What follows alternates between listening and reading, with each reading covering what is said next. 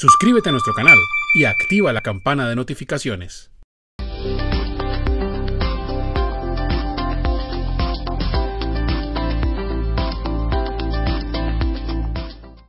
Dice, ¿cuáles son los plazos para presentar la declaración anual consolidada de IVA año 2020 de los inscritos en el régimen simple de tributación?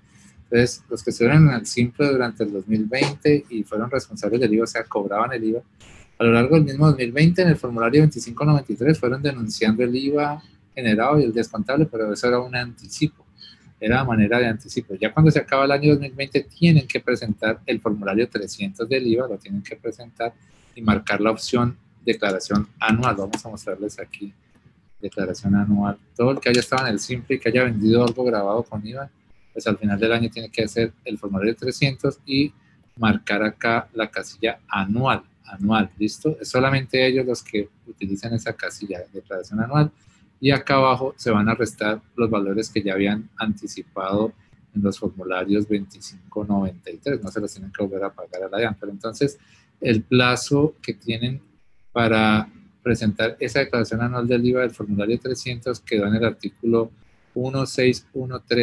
16113-250 del decreto único tributario 1625-2016 modificado con el decreto 1680 de diciembre 17 del 2020. Vamos a buscar entonces el decreto 1680 de 2020, lo voy a buscar aquí, decreto 1680 ¿sí? de 2020.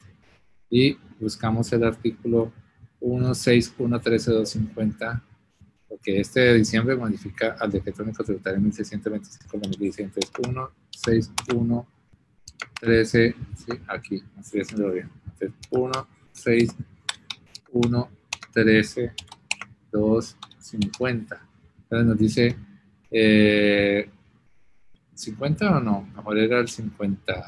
a ver, porque es el plazo del IVA. El IVA está aquí, es el 51, tenemos que corregir aquí, es el 51.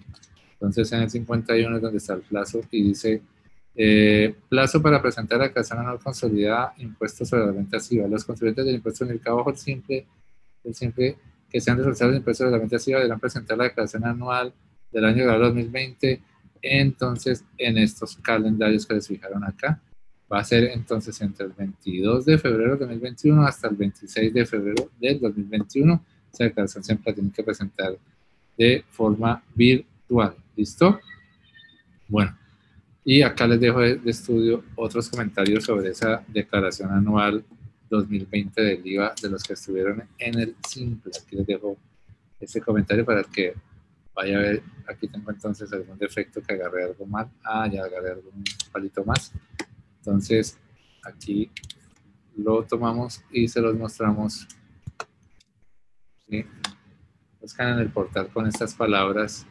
Eh, declaración anual de IVA año 2020 para inscritos en el de casos especiales y esto se publicó el 13 de enero de 2021.